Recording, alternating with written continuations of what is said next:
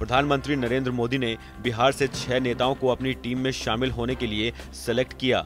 इनमें लोक जनशक्ति पार्टी के अध्यक्ष रामविलास पासवान, बीजेपी के पटना साहिब से सांसद रविशंकर प्रसाद, पूर्व केंद्रीय मंत्री राज्य मंत्री गिरिराज सिंह को प्रमोशन देते हुए कैबिनेट मंत्री की शपथ दिलाई गई।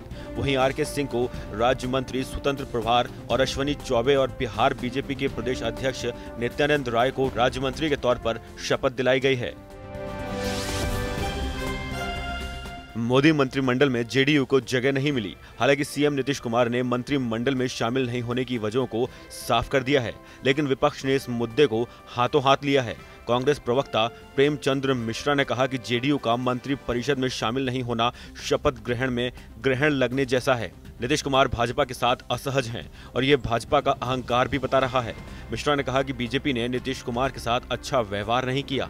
आरजेडी के राष्ट्रीय उपाध्यक्ष शिवानंद तिवारी ने बीजेपी से कहा, छह सांसदों वाली एलजेपी और 16 सांसदों वाली जेडीयू को एक ही तराजू पर तोल दिया गया है। ये अंधेर नगरी वाली बात हो गई है। नरेंद्र मोदी ने दूसरी बार प्रधानमंत्री पद की शपथ ले ली है। उनके साथ कुल अट्ठावन मंत्रियों ने भी पद और गोपनीयता की शपथ ली। हालाँकि इस बार उनकी मंत्री परिषद का चेहरा बदल गया है। पिछली सरकार के 22 मंत्रियों को ड्रॉप कर दिया गया है।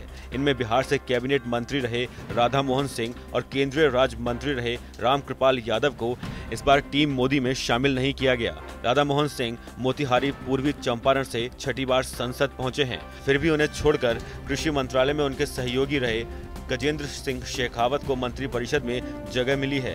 राधा मोहन सिंह को ड्रॉप किए जाने के पीछे उनका परफॉर्मेंस एक बड़ी वजह हो सकती है। तो वहीं रामकृपाल को ड्रॉप करने का कारण नित्यानंद राय का अच्छा प्रदर्शन रहा। प्रधानमंत्री नरेंद्र मोदी के मंत्रिमंडल में झारखंड के खूंटी से लोकसभा चुनाव जीते अर्जुन मुंडा भी शामिल हुए। उन्होंने मंत्री पद की शपथ ली। अर्जुन मुंडा झारखंड के तीन बार मुख्यमंत्री रह चुके हैं।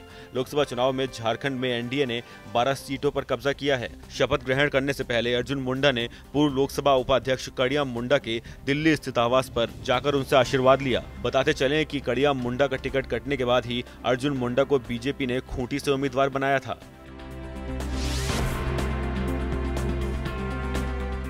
मोदी सरकार की दूसरी पारी को लेकर पूरे देश में उत्साह दिखा। बिहार, झारखंड में जगह जगह पर मोदी और उनके मंत्रिमंडल की शपथ को लेकर खुशी से लोग नाचते झूमते दिखे। सड़कों पर पटाखे फोड़कर किया खुशी का इजहार। ब्यूरो रिपोर्ट, बिहार तक।